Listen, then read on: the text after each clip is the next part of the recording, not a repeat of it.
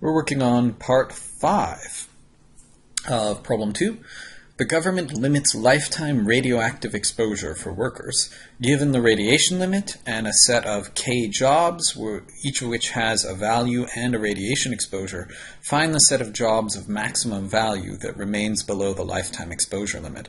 So, looking again for things that would sound familiar, we've, we've got one of these thresholds, right? We've got a lifetime exposure limit uh, a limit on the total amount of radiation that you can be exposed to.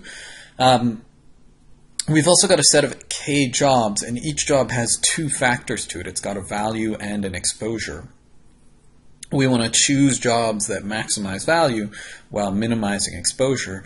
And this sounds like, you know, radiation is playing the role of weight here.